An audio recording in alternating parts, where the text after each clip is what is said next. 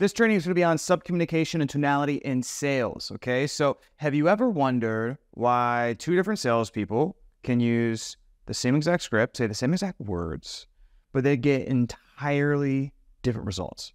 Okay. Well, all of those things being equal, what does it have to be? It's the things behind the words, right? Like a writer would say, it's in between the lines. So it's the things behind the words, and it's really that subcommunication and tonality and how that makes somebody feel and how that makes somebody receive your information through how they're communicating. So what's really cool about this training is obviously the context is selling and the context is in sales and persuasion and stuff like that, right? But everything that we're gonna uh, do in this training can be can apply to dating, let's say for sure.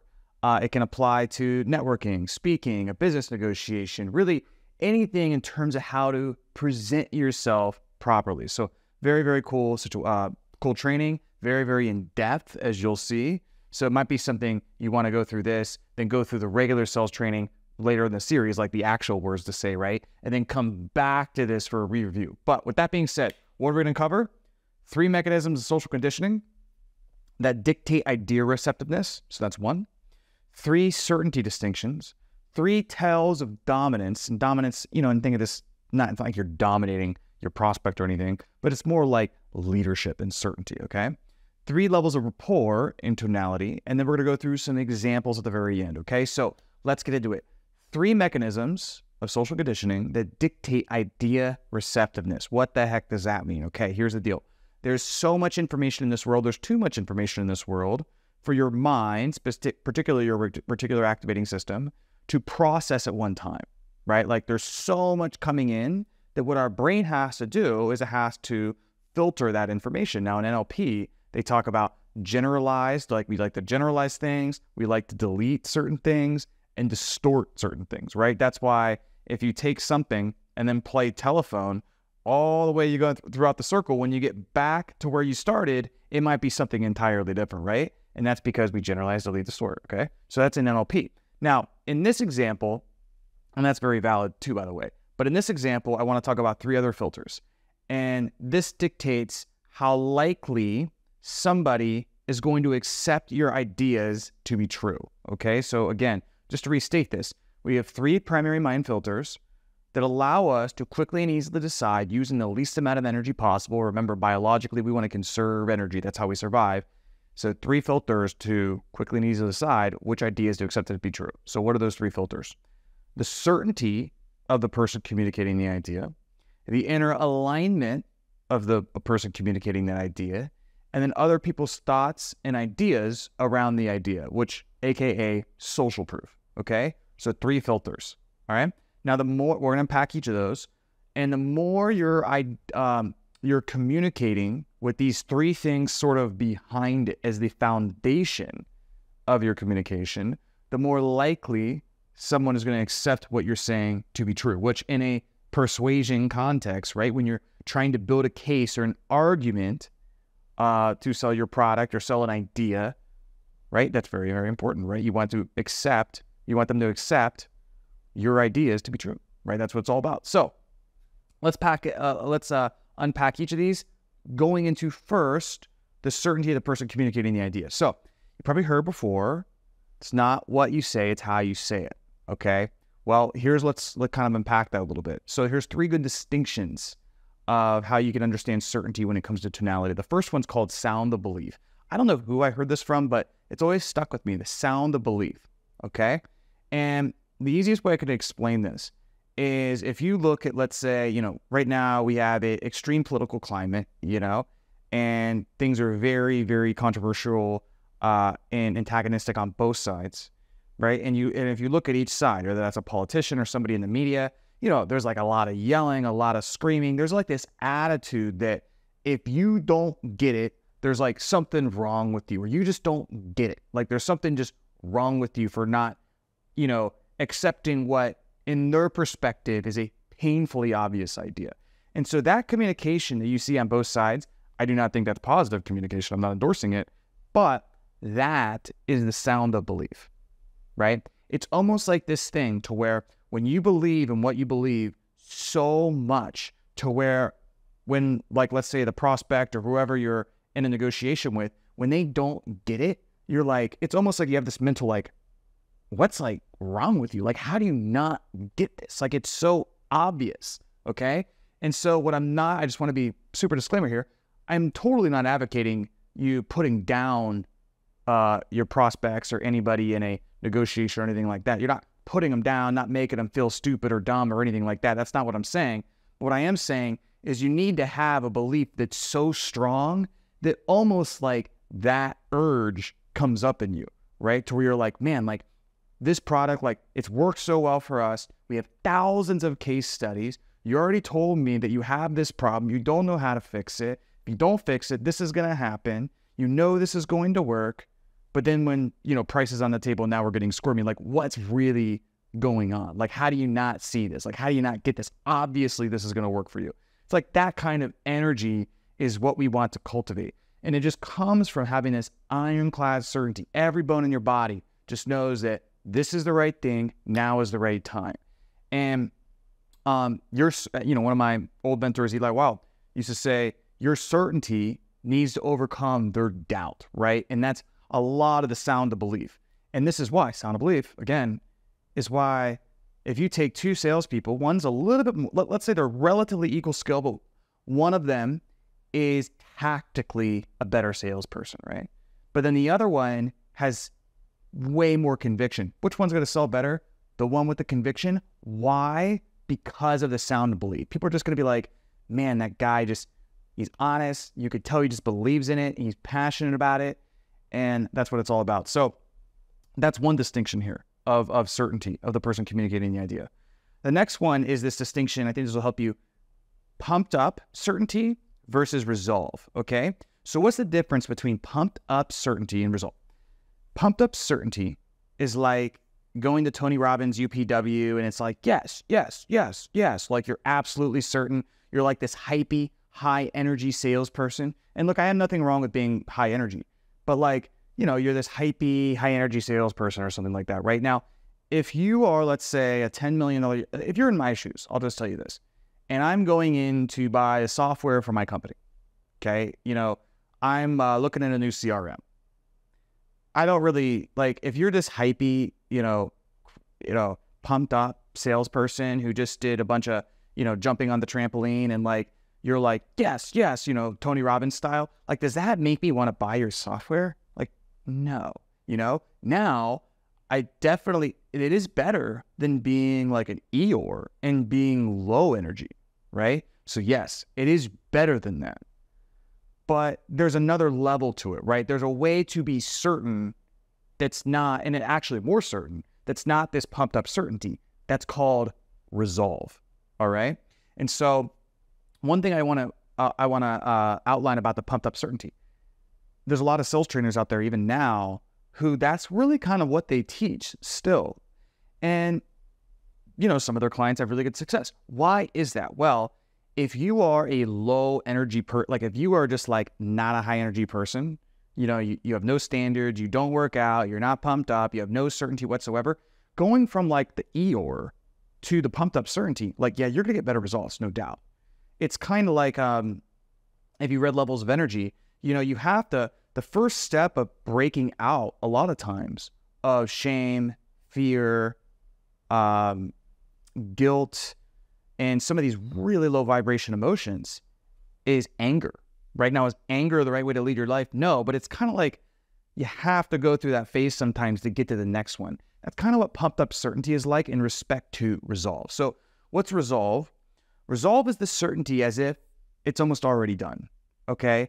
I'll give you an example is before I had, you know, a goal for a long, long time of mine was to have a million dollars in my bank account, right? Like that was a goal. And, you know, like in the beginning phases, I'd be like, okay, million dollars in my bank account. Like I'm going to journal about it in the morning. I'm going to like visualize it in my mind. And I got to just like really like feel it. And like, yeah, you know, that's kind of like pumped up certainty. And then what's funny is when I was most certain about it was probably like three, four, five months away from when I hit it. But I could tell based on my income that I had coming in that I was going to hit it no problem. So I had resolve. It was at, that time, even though it I didn't have that million dollars in my bank account. It was as if it was already done. You know, like I knew without question, unless there's some crazy black swan, without question, I'm going to hit that. Right. And that was years ago. But like, as you, it's almost like, you know, in sports, like as you sort of start getting and you can see the light at the end of the tunnel, you, you, you get out of this pumped up certainty and you start to get into resolved where it's like, no, it's like already done. Like you just know. Okay. And to give you a sports example, sometimes like if you're playing a really, really hard opponent, you might have to really like pump yourself up, but there's some nerves, there's some tension. If you're playing somebody to where you've known you've done all the preparation needed and you know you're better than them and you know you're going to win, you almost go into it with resolve. You go, what's the difference? Instead of that tense, pumped up certainty, you go in loose, you're having more fun, and you're in this place where um, you're just in complete flow state, right? And, and the easiest way I can think about that in a sports example is think about like the Patriots during the Belichick Brady era, right? Like they're not like crazy pumped up, dramatic on TV, you know, causing a bunch of drama. It's like put their head down, get the work done, but they're so confident, right? So resolve is a good uh, a good distinction for this as well. The next distinction in terms of certainty is what I call shallow versus depth of expression. So when somebody talks, there's a certain weight to it. Okay, there's like a certain weight that you can sense sense uh, sense from it, and you can tell is what they're saying. Does it come from thousands of hours of experience, being in the trenches, truly being the best of the best topic at hand, or is what they're saying like shallow? You know, do they lack that experience? Can you sense that there's not a lot of depth behind it? Okay. So there should feel like there's this like heaviness around the communication. Okay, what's the classic example? Social media, right? There's everybody making videos on how to make passive income and how to do this and how to do that and how to do this, right? Well, if Elon Musk makes a video about being a successful entrepreneur in 2023, and then some guy who's, you know, making 10K a month from YouTube AdSense makes a video about how to be a successful entrepreneur in 2023, like which has more weight behind it? Okay even if theoretically they said the same exact words, which has more weight behind it? Obviously, Elon Musk, right? It's a big reason why Alex Hormozi and a lot of his content says when you're making content, like you should really just report what you've actually already done. And that's because people can really sense like, is there weight behind the words you're saying? It's the same exact reason why, like somebody like Tom Bilyeu or Ed Mylett, you know, the Patrick Bet-David, these guys all sold their companies for multiple nine figures, or you know, in Tom Bilyeu's case, a billion dollars, right? And they have podcasts. A lot of other people are trying to build podcasts too. Well, why are these guys so popular in like the personal development space? Because there's weight and meaning behind the words they're saying. Even if their audience doesn't even know what their background is, they can sense that. It's very, very important. Okay. So, um, what are the action items that you want to take away from this? Okay. Well, if you're an entrepreneur, you probably already likely have, unless you have some sort of imposter syndrome, right? Like you already likely have this because hopefully what you're selling is a problem that you know that you've already solved, that you, you know, this problem's like your bitch, right? Like you know exactly how to solve it. It is no problem. Like you are the master in the world of solving this damn problem. And whatever you're selling, you've probably done yourself or fixed that problem for yourself first. Or maybe you have a ton of testimonials and results that can back that up, right? Like there has to be that weight behind it. But for entrepreneurs, a lot of times it comes very easily, right? So if you're a salesperson, how do you do it? Well, it's actually really the same thing. Number one, you have to really know your industry. Like when I was selling for traffic and funnels, we we helped coaches and consultants and, and, and so on, you know, scale the lead generation. And, you know, I knew that industry so well. And then on top of that, most of our clients were trying to go from zero to 100 grand a month. So I knew my industry really well. And then the other thing you want to know as a salesperson is you want to be a master at the problem, right? You want to be the world's most foremost expert in the problem your company solves. That problem's got to be your bitch, right? And I also had that, right? I knew the industry really well. And when it came to getting coaches from like zero to 100 grand a month, man, like I knew how to tell them to get there like the absolute back of my hand. Okay. And I just, it's like I had so much certainty behind it because I had thousands of conversations where I was talking about the problem. I had learned from some of you know my mentors and the people I was selling for of how to fix the problem. I knew the industry really well. I had all of these case studies and, I, and patterns that I had seen of the clients that we had to back it up. I had done so much, you know, I assumed so much information. I had totally get it. So it's like I would get on the calls with, you know, business owners who were more successful than I was, but I could just talk circles around them when it came to fixing this problem, right? When it came to this problem, I was much higher status, right? Like we talked about in the previous video, it's a difference between, you know, a surgeon might have really good general status in the in the United States, just kind of out and about. But if he goes to a golf course and golfs with a golf pro in that context, the golf pro has the higher status, right? It's the same thing. When the conversation is about this certain problem, you want to be that expert in the problem so that you have the higher status, right? So you have some authority. And it's not hard to do that because number one, all your, you know, you're gonna have thousands of conversations about fixing this one problem, right? So you only have to master this one thing. That's all you gotta focus on. And on top of that, the prospect wouldn't be on the call with you if they didn't have that problem.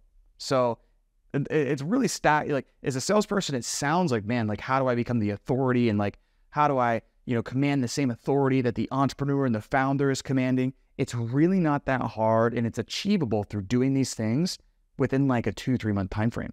Like you can do it very, very quickly, even if you're a complete beginner. Okay. So we'll talk more about that a little bit later because um, a lot of this stuff ties in with each other. But that's the uh, first thing in terms of the certainty of the person communicating the idea. It's one of the three things that increases idea receptiveness. What's the second one? It's the inner alignment of the person communicating the idea. Okay. So what does this mean? Are you walking the walk or are you talking the talk? Right. Like, again, a large part of why entrepreneurs can sell better than salespeople, why the founder can sell better than even their VP of sales that they hire in the very beginning. Right. A big part about that is because they have way more alignment with the ideas that they they're presenting. Right. Um, it might be because they first solved that problem themselves.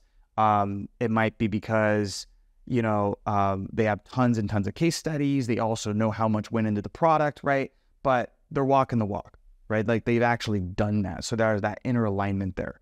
So um, you have to not just be talking about it, but you have to be living it. and It has to be ingrained in your being. And that will make you so, so much more influential. Like a great example is there's tons of different sales recruiters and hey, we'll help you build your sales team people out there. And, um, you know, most of them I have never seen stick around for more than like three to six months. And the reason why is like they look at my success and then they just get into that industry, this industry, thinking like, oh, it's just a it's such a good way to make money. Like Cole has a good offer, and I'm not saying I don't have a bad, uh, don't have a good offer, but what I think they're missing is like, no, I'm like really good at solving the problem, and like we're we, we're the only ones who've actually done what we're trying to help clients do. Like we're helping people build their sales team, but we have a sales team that's going to produce 45, 50 million this year in cash. So, uh, you know, again, like most people who are reaching out to us for sales team help have nowhere near that success. So we're actually like, if I give you information about how to run a sales team, it's coming from really doing this at the highest level in this industry. Like in our perspective, like bubble of an industry, you know, we're up there as one of the best, right? Especially with the phone sales. So again, that's the inner alignment of the person communicating the idea, right? We're walking the walk. We're not just talking the talk. So um, another big aspect of this is up leveling your um, your growth as a person, your standards as a person, and your identity. Because nothing is more influential than who you are and the way you think. Okay. Now that sounds a little esoteric. What I mean by that? What do I mean by that? One of my mentors used to say that sales is really just a transference of thinking, right? You're not selling them on the product, you're selling them on a way of thinking that leads to the product, right? So you might have seen my videos before. If you're Russell Brunson, he doesn't try to sell you on ClickFunnels. He sells you that funnels is the best, newest, fastest, best way to get customers online. And if you believe that to be true, then like, you know, you're probably going to buy ClickFunnels, right? That's like the next logical step as a byproduct of that belief. And so always in sales, you're selling them on a way of thinking. And if you can be somebody who is doing what they say they're going to do, has very, very high standards, has has done a lot of personal development and work on themselves, knows how to make empowering decisions, knows how to think about making decisions, you're going to be able to help business owners or whoever your prospects are make more empowering decisions for themselves and transfer them that successful way of thinking that you had to work really hard to obtain. Okay. That's what I mean by inner alignment. So, a few more tips on improving this. Uh, one is something you've probably heard before. This is like old school sales, but the mirror. Okay. So, you want to be the prospect that you want to attract. So, are you the prospect you want to attract? Do you make quick decisions? Do you invest in yourself? Or do you make a bunch of BS excuses? Because um, your objections will be their objections. If you're selling a coaching program that's $10,000 and you've never bought a coaching program that's $10,000 or more, you're going to have a tough time selling it. Almost always. Okay. Um, if you know you're over, like if you uh, are overweight and you've tried to lose weight a bunch of times and it's never worked, and then you're selling a weight loss program to people just like you, but you've never even gotten the result, you've never even invested in yourself to actually, like you're too scared to invest in yourself to get that result and then follow through and take action, like you're not going to do well. Okay. If you always say you want to think about it, when people tell you they want to think about it, you're probably going to, you know, you're probably going to uh, take what they say at face value and let them think about it. Okay. You're to have a hard time overcoming that objection because it's not even authentic. All right. So that's the first one, the mirror. Standards is the second one. So I kind of mentioned this before, but are you keeping the promises and commitments to yourself? So one of our core values in closers.io is what's called a high say do ratio. Okay, so when we say we're to do something, we actually do it, right? We want the say do ratio to be one to one. So if you say you're going to wake up tomorrow at 5 a.m., you wake up tomorrow at 5 a.m. If you say you're going to work out tomorrow, you're going to work out tomorrow at, you know, 5.30. If you're going to read 20 minutes a day, you read 20 minutes a day. If you're going to do, you know, if we're going to achieve these activities, we're going to do those activities. If you're going to hit this amount of sales a week, you hit that amount of sales a week, right? So we want to have that say high do ratio. And when you start doing what you say every time and that actions align with words constantly, and you can live up to that standard for yourself, it's so much easier to hold prospects accountable to the same standard. Because not only is your energy going to be higher, you're going to be much more confident, but at the same time, you can't influence your prospect to live up to their highest standards if you're not even living up to their own.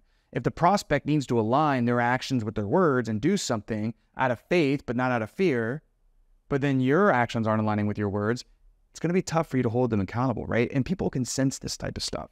The next one is improving your worldview. So, uh, some of the best sales training could actually be personal development.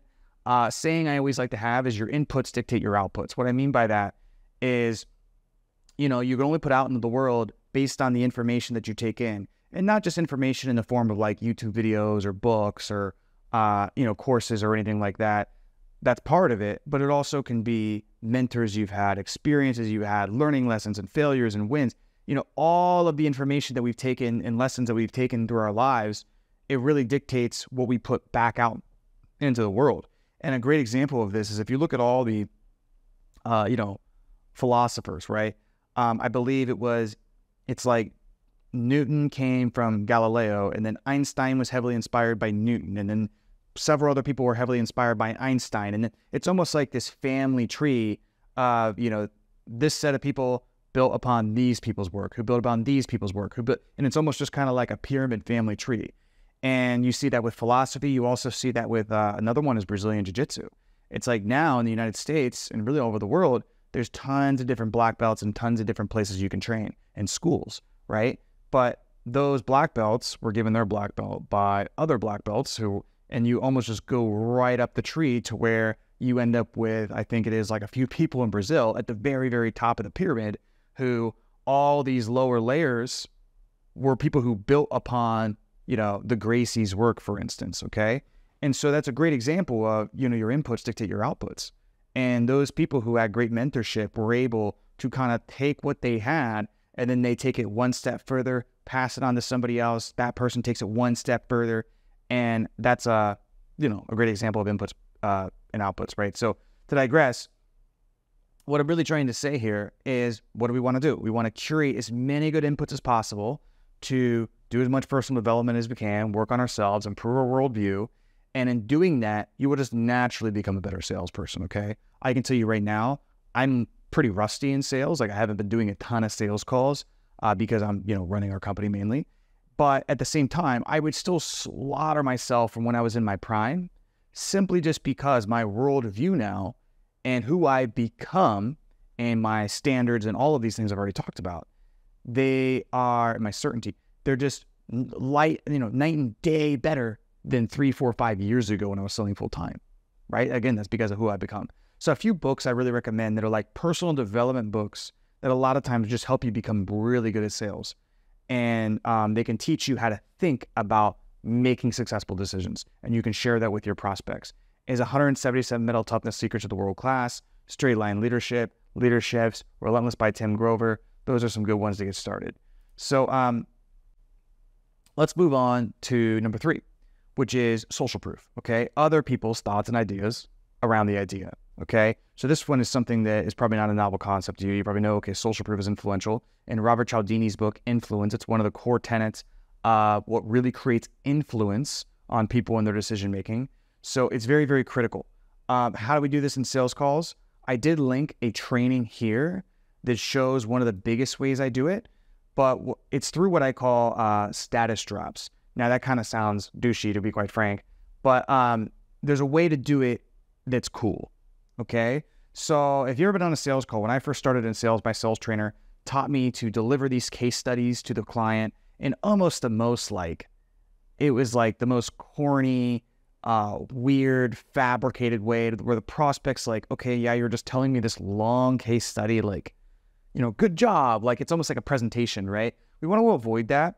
We want to mention our case studies in the most casual, um, native way in the conversation possible, right? To where it doesn't seem like it's forced, like we're just uh, forcing these case studies or trying to use these case studies to persuade them. It should more feel like it's just naturally coming up in the conversation.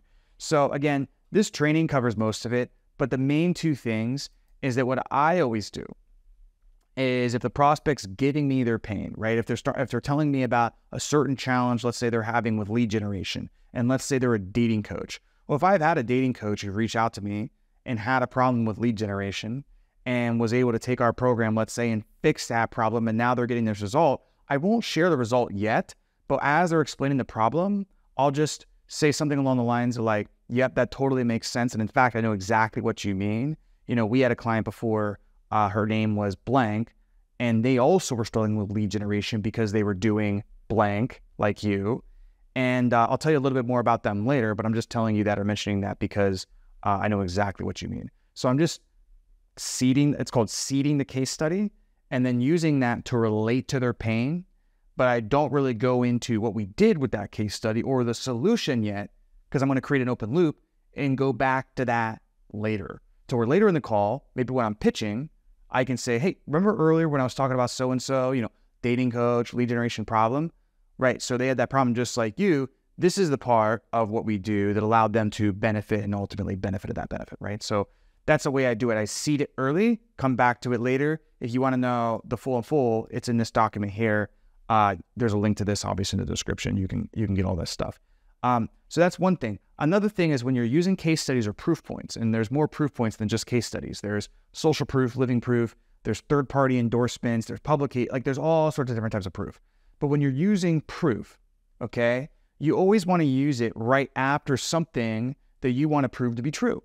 Okay, it sounds obvious, right? So if we're talking about, let's say our, our, our program or what we're selling has four key aspects of it, four key sort of like key results that we're going to get them after each key result, I might want to give one or two case studies or one or two proof points. It doesn't always have to be case studies. It can be a reason why logic. It can be a personal story. Like it can be a lot of different things. But it's that proof point to drive what I just said home and to be accepted as true. Okay, so that's the other big thing that we want to do there. But that is social proof. Now, moving on, vocal tonality and three tells of dominance. So for our purposes, think of dominance like certainty. All right. So there's three tells. All right. The first one is a full range of expression. All right. So what happens is, is, and this is what I've been told, you know, I'm not an evolutionary psychologist or anthropologist, but what I've been told is, you know, in prehistoric times, our bodies and, and we just naturally learn to stifle our expression because if you're this loud, um, you know, intense, um, open, you know, wild person, it could put you at risk of like the alpha male in the tribe, whoever's the leader, throwing you out or exile or killing you or whatever. And that's like our ultimate fear, right? Is exile or death. And so I don't know if that's the actual reason we've we've learned to stifle our expression. But one thing is for sure is most of us go throughout life with a very stifled expression and body language for the most part, but even tonality. Okay. So we need to unstifle that. And if it's stifled, what's going to happen is like your range, right? Like think of a singer has like a long range. I mean, that's the same thing when you're actually just talking normally. Like there's a certain range that that you have. And you know, if you have if you're stifled, you're going to have a really short range and it's going to sound like you're monotone. So it's going to sound like you're like this. And this is what it sounds like to have a limited range of expression, okay? So that's an extreme example, right? But if you have a broad range, Okay. There's times where you're really high pitch. There's times when you're saying things a little bit softly to bring people in. And there's times where you vary your cadence, which is another thing. Okay. So think of full range of expression as if it's like, it's almost the equivalent of an open body language. Okay. Which is something you also want to have. And, um, you know, there's tons of great body language tips on YouTube or, and, and stuff like that. You can look into yourself. But range of expression is almost like the body language of the voice. Okay. The next thing is carefree and free flow expression versus contained expression. Okay. So this is something in which um, the easiest way to explain this is with an example. Okay. So have you ever really cared what somebody thought of you? And like you're around this person, and when you're around them, you really care what they think about you. Okay. Now, we never like to admit that we do, but we've all had that person. It might be a family member. Like, you know, there was somebody I went out to dinner with. I mean, honestly, just a year ago. And this was a huge person in the space I really look up to. And man, I'll tell you what, like, I was not myself around this person. Like, I just was so in my head because I look up to this person so much that I get in my head and it contained my expression, right? Like, you're almost afraid of like loosening up and like being yourself. And you start to second guess everything that you're saying and you start to really get in your head. Okay. So that's the difference between a contained expression versus free flow. So the solution to this is you have to be free of what others think about you and um, really trust the spot, trust that you'll uh, say the right thing spontaneously in the moment. So for instance, on a sales call, we do not want to be constantly thinking in our head, what do we say next? What do we say next? What do we say next? Looking at the script, what do we say next? Really, what you want to do is you want to do an immense amount of training before the calls, right? And so really, really know your sales process in and out, like an immense amount of training. And then almost just rest your attention, almost like a meditation, but resting your attention on what the prospect is saying and just be entirely focused on them. And then trust spontaneously in the moment that the right words and the right things to say and the right strategies will come through you. Okay. Now that sounds woo woo woo as hell. I get it. But I'm telling you, once you have the right training in place, that is what it's going to feel like. And any great salesperson will tell you, like, once you get really good and in a rhythm, it is almost like a meditation. You know, like you're totally in the moment, you're totally focused, you're in this flow state, and you just feel like you could influence anybody to do anything. And it just like everything just comes so naturally and that's the state you want to be in, right? You have to trust that you'll do the right thing spontaneously in the moment. Now, a big part of that is you have to relinquish fear of rejection and what other people think about you, right? And you have to, uh, you know, trust that you're just going to do what's based in truth and what's right. Okay. So that's number two. Number three is shifts in cadence. Okay. So this is very simple, but we want to have a wide range of expression. And then within that wide range, we want to vary our cadence. All right. So if you don't vary your cadence, it kind of sounds like this to where we're not varying our cadence and it sounds very boring and it sounds like somebody who's like, you know, your history professor. Know, it's like it, almost like a history professor. I remember I had one time that was just so incredibly boring, right? There was just no variance in cadence. Now, guess what? When you sound like you're reading a script, like you you probably heard people say, "Oh, you sound scripted," right? Or "Oh, this sounds scripted." Well, when you sound scripted, that's when you lose that variation in your cadence. So, to really drive this home, let me read to you what is not usually the most scripted part of the call, which is frame the call. Now, there's a whole argument of if you should frame the call, if you should not frame the call. We'll cover that later. But for this example, let's just say you're doing it, and um, I'll show you how it sounds like with a limited range stifled expression and no variation in cadence.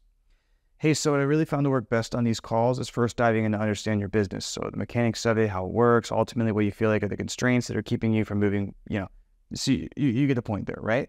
Whereas if you have a natural, normal range of expression and cadence, it sounds like, hey, so what I really found to work best on these calls is first just really diving in to understand, you know, your business. So the mechanics of it, how it works, and ultimately what you feel like are the biggest constraints that are keeping you from moving forward. And then once we can figure that out, so you see like that's just like a basic um, and I'm still reading right from the script, right?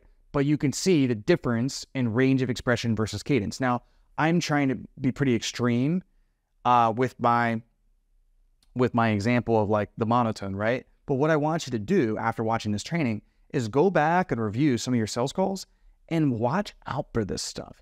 Areas where you sound scripted, areas where you're not shifting your cadence, areas where you're you're uh, just constantly in the same pitch with your voice. And uh, again, this isn't something you should try. Like it doesn't take effort to do this.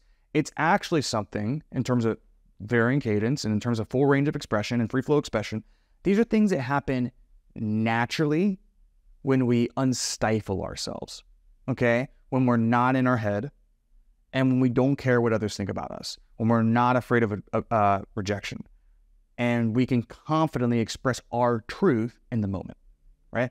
So it's actually something, it's not something you do, it's almost something you let go, all right? So again, because if you try to do this, you're gonna sound forced, you're gonna sound even worse. So some of the examples we'll go over in a second help. Now, three levels of rapport. This is the last thing we'll cover, and then we're going to splice over to some examples. So, three levels of rapport slash three different tonalities. So, there's seeking rapport, neutral rapport, and breaking rapport. All right. So, seeking rapport is an upward inflecting tonality, right? To where like you have that uncertain like question at the end of things that should be statements. Equal inflecting tonality is very basic. That's like when we're on the same side of the table. Okay. It's us together. That's 80%, 90% of conversation. And then there's downward inflecting tonality. Okay. Where we're breaking rapport. And that might be when you're challenging somebody on a sales call, when you're trying to kind of push them over the edge a little bit, or when you're really confidently expressing one of the key features about what you do or a result that your client got. I mean, could be could be different things. But breaking rapport is something that is, uh, you know, you might use five to 10% of the time. Seeking rapport, you really shouldn't be using at all. Equal, uh, equal uh, neutral rapport or equal inflecting tonality should be, you know, the majority of the conversation, right? And so again, what we really want to avoid is the seeking rapport, all right? And in sales calls, um, no, uh, believe me, I have heard people sound. I'll be on a call review with somebody. They sound super normal super normal. And then I literally, li- like, I'm talking to them, they sound normal. Then I listen to their sales call and I have them on Zoom with me. Entirely different person, like upward inflecting tonality. They're not expressing that. It's like you can tell they're in their head. And when they're in their head, they're not even listening. So they're asking, they're, they sound really scripted and it's like they're running people through a process. Again, like, it's just, it's, it's, it's something you let go.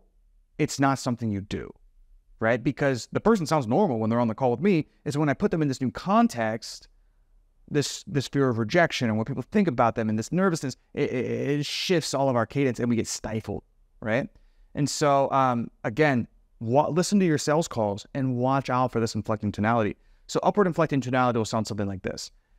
Hey, so I really found the work best on these calls is first diving into understanding your business and the mechanics of it and how it works and ultimately, what you feel like is the constraints that are keeping you from being where you want to be. I mean, I can't even, it, it's so unnatural for me. It's so hard to say. But again, we want to avoid that at all costs. Like, you will not get some, I mean, people will maybe buy to spite you, but if you got a lot of an upward inflecting tonality, you're really going to struggle. Okay. So, what we're going to do here is we're going to splice over to a video, older training I did, version of this training, where I give some examples and then we'll end it from there. Thank you. You know, I made this training for one of our internal salespeople about a month ago and uh, it totally bumped him. Um, he wasn't necessarily out of pocket or in a rut, but it took him from like you know doing decent to just closing almost everybody he spoke with almost overnight. Okay. And um, I just showed him the example of these two videos. And one is when I first started making paid marketing content, and this is just really embarrassing. And then the second one was like from a you know about a month ago when uh, you know I put out a lot of content. I just don't care what people think anymore. I'm just like whatever. Okay. So what's funny is like this is you know both of these are I was I'm I was great at sales when I recorded both of these. But what I wasn't as experienced in was creating video content on this first one. And I was a little bit more thoughtful and critical about what I was putting out. And you can see it in my vibe. Like I'm kind of trying to play it safe. Okay. So before we get into these, I want you to look at the difference in levels of dominance the vibe, the difference in levels of vibe, there where one, I just know exactly what I'm talking about. It's like no bullshit. I've done this a thousand times. Um, I'm here to like lead you through this process. Listen up. Um, the downward inflecting tonality and kind of the feeling like you're running downhill with how you speak in the second one. And then in the first one, the apprehensiveness and the vibe of like being safe. Okay. And also look how my eyebrows lifted. That's also a sign of uncertainty, like you don't know what you're doing. Okay. So this is actually going to be vulnerable for you. And, um, and, uh, just give it to you here because this is kind of embarrassing and it's it's sad because even when I recorded this first one, like I know better than this, um, but it just goes to show like I was just kind of doing paid paid traffic for the very first time. I was very uncertain, and the uncertainty was the root cause of this kind of shitty energy and tonality. Okay, so I'm actually gonna have to pause this video and then change the audio because I'm walking through a headset. One sec. Okay, so we're going to get into this now. What up, guys? Cole here. And if you're on this page, I should just book a consult with me and my team in the next few days. So, in the meantime, I wanted to give you some concrete next steps so you know how to show up as prepared as possible to get as much value as possible out of our time together. So, um, real quick, just add it. Okay, so we only need to even go through 15 seconds to see how bad this is. Now, um, look at like the level of apprehension. I'm almost like, like almost leaning away from um, the camera. My eyebrows are lifted. I'm kind of like overly critical about, like overthinking what I'm saying a lot. I'm not fully, like, am I talking even how I'm talking now to you guys? No. Like, I'm almost just kind of like, just, I have that can't contain expression. It's not full range. It's a little bit apprehensive. It's not terrible in the sense of very, very monotone, bad cadence, and you know, upward inflecting, and just very uncertain. But it's definitely not good, and it's not me. Okay, and it's because like I had never, you know, and this is like a thank you page video for a paid traffic page, so it's like really not a big deal at all. But um, I was just in a place where it was like the first paid traffic video that I was created, or paid traffic campaign that I was creating, and I was just overthinking stuff. Okay, and was coming across in my tonality and my certainty. Now, compare and contrast this to this one. What's up, guys? Cole here. And if you're on this page, you just booked a free sales team audit with either me or my team. Okay, so there's going to be a quick, like 30, 60 second video here just to make sure you can show up as prepared as possible to get as much value as possible out of our call together. So, first thing first, in the email, you're going to get a. Okay, so even look at my face. I mean, it's just not even a comparison. Like, I look like I'm a fucking killer in this one, and then I look like I'm a total bitch in this one. Like, who do you want to buy from? Like people buy from like, oh, like they buy from a little bit of grit, opposed to, um, you know, whatever the hell this is. Okay, so again, you know, like go through this real fast. What up, guys? Cole here, and if you're on this page, I. Sh- just terrible. What's up, guys? Cole here, and if you're on this page, you just booked a free. So you see how I'm rolling downhill with my tonality in this one? It's on, you know, it's very downward inflecting. It's hey, if you're on this page, like it listen up. You know, it's I've told this. We've done this with a thousand people. A thousand people have been through this process. I know exactly what the next steps need to be so that you don't waste time. I don't waste time. Let's get into it, right? I'm not saying that explicitly, but that is my tonality and where I'm coming across.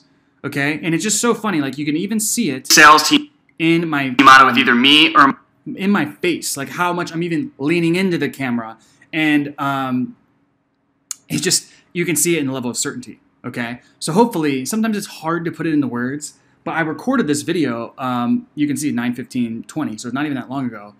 And um, I was replacing the old video, and I looked at the old video, and it was at the same time I was kind of trying to teach some of this tonality stuff to one of our sales reps, and I was like, dude, you gotta you gotta see this difference because this is exactly what you're doing wrong on the calls. And I'll tell you this, guys, um, there's a lot of uh, buzz about neutral based language, okay, trust based language. I'm a total proponent of that stuff. Now, at the same time, using trust based language, neutral based language, doesn't mean you become a little bitch, all right? And that you have zero confidence ever, and you're like, okay, well, I'm, I'm, I'm you know, I mean, at, at this point, um, where do you want to go from here? Like, you're not going to say that, guys. So there needs to be that level of directness and certainty. Okay, um, and you can just see the difference. Like it's just not even a not even a question. Um, I mean, just look. It's just two different animals here. So um, that is going to be it for the video portion of this training. Um, what I'm going to do, I'm actually having my assistant splice them now so we remove any personal information. But there's two call reviews I recently did with two different sales teams where the sales reps both had basically the same problem. They both had very upward inflecting tonality, um, a locked in, uh, very capped range of expression. And because of the tonality and how how poor it was, um, for lack of a better word, um, there was just no way, no matter what they said, it was not likely to be accepted to be true by the prospect. Okay, and that trust and that authority was never going to be built you know? And so that's why you can say the same words as somebody else is saying. You can use the same exact script and get two entirely different results. Because remember, going back up here, there's these three filters, and that's what our brain uses subconsciously because we want to conserve as much energy as possible. How to accept what ideas to be true versus what ideas not to be true. Okay? And it's all the way how you're communicating it and your subcommunication not the words that you're saying. So, Cole Gordon, that is uh, it for this training. I am uh, out.